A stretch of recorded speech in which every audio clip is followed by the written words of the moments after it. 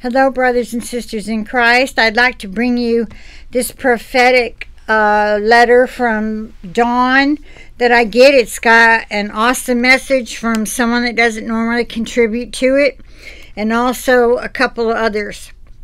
The first one is The Trumpet by Bill Burns. He says this The Lord says this, gave it to, to Bill. These are dangerous times. Therefore, I am calling you to a higher level of understanding, a level of being able to see and hear and to know the direction that you are to walk in. Stay under the shelter of my outspread wings so that I can protect you and guide you. The travesty of this world need not touch you.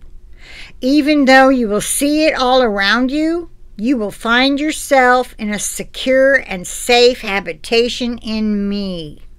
Praise the Lord. The next one is called Small Straws in a Soft Wind by Marsha Burns.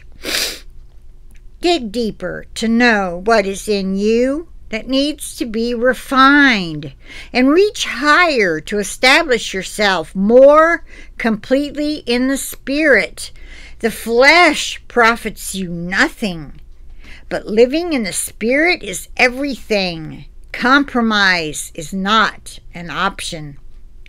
James 4 4 was added. Adulterers and adulteresses, do you not know that friendship with the world is enmity with God? Whoever therefore wants to be a friend of the world makes himself an enemy of God. Okay, that's that's the end of that one. And I am saying it's way more than being an adulterer or an adulteress, which we know can come from just lusting from the heart, right? So examine your own self before the Lord and make it right. Moving on. This is uh, from Handmaid of the Most High. Remember, I said, Louisiana and surrounding areas take heed. I'm not sure if that comes from the Lord or her, but I believe that it comes from the Lord. Now, below that, it says, Careening Toward Chaos, Part 12 given August 28, 2021 at 3:01 p.m. to Handmaid of the Most High. Children, the warnings have gone out. It is now commencing those who have prayed and sought direction from me will now see what has begun to unfold. Do not blame me or shake your fists saying you were not told. I will remind you that those wait a minute that that those that were disobedient had more than 100 years to repent when Noah built the ark. They did not believe. But then the rains came and they were believers. Not all were told to leave. Those who have been obedient, I promise that the suffering. Wait a minute. Not all were told to leave.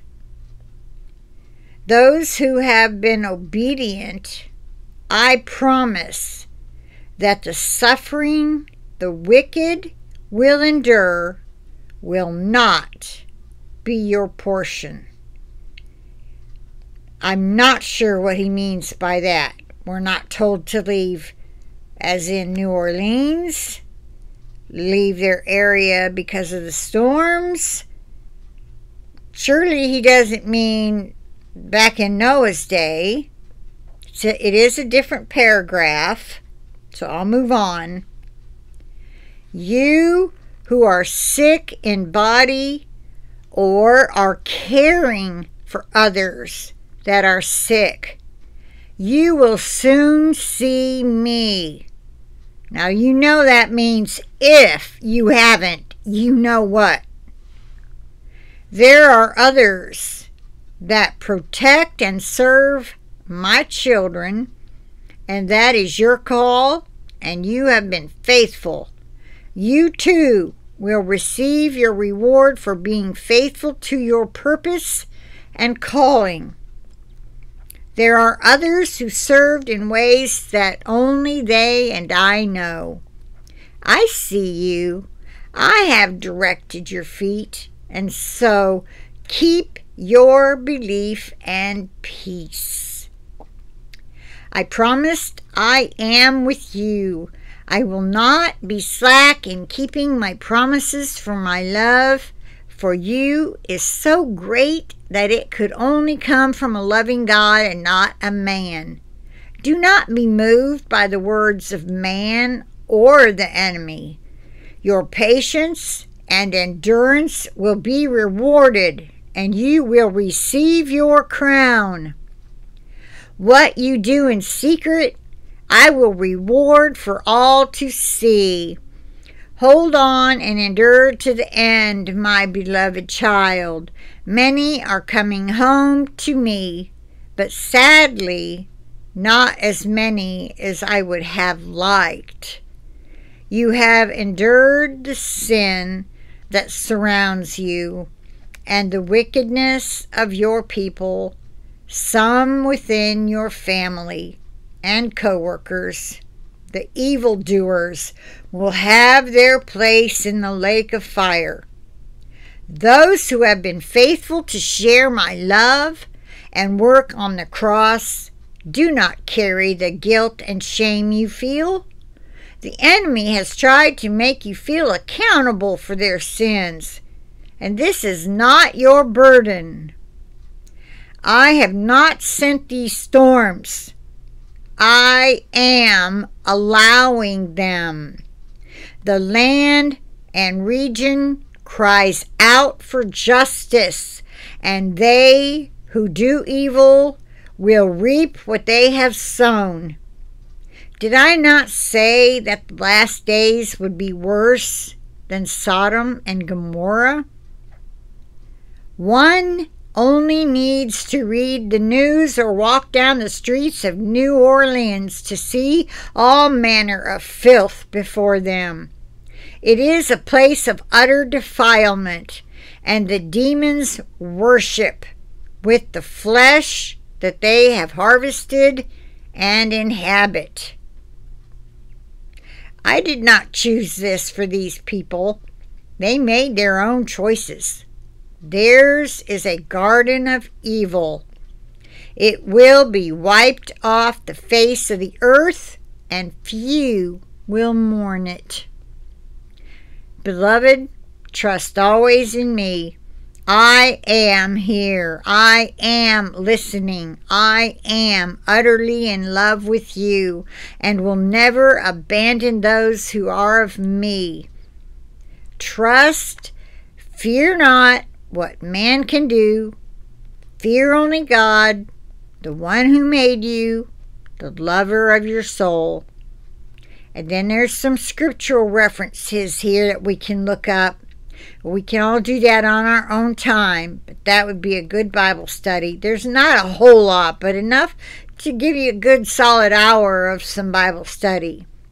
Now, this one is Get Your Boarding Pass from May 17th, 2019, from Handmaid of the Most High. After having received some very strong messages for the body a few hours earlier, I was troubled. I had repeatedly cried because of the second vision about the lost sheep and the sins in the church. I was sharing my heart with the Father, and this is what happened. Around 5:30 p.m. today, I was telling the Lord, I am ready to leave. Well, I was telling him that today myself, brothers and sisters. Okay, back to the message uh, or vision. Let's see, was this the vision? I was sharing my heart with the Father, and this is what happened. Around 5:30 p.m. today, I was telling the Lord, "I am ready to leave." He responded, "Look at your boarding pass." I then saw a vision. I was standing in my airport in the area leading to flights which were departing.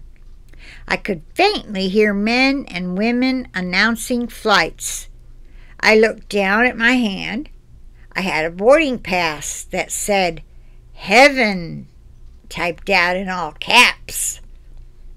Two hours earlier, I had two separate visions with themes relating to the harvest. This vision also reflects the late hour. Three visions in three hours has never happened to me. A word of caution there are those who have varying opinions about the end of the Christian era. It is, boy, tell me about it. It is clear to me that this vision and message time frame apply to more than one specific time in history. Yet it is a message for the entire body. This vision confirms only that I am leaving in the East Coast tsunami, as detailed in the message The Coming Destruction of the United States of America, given May 2016.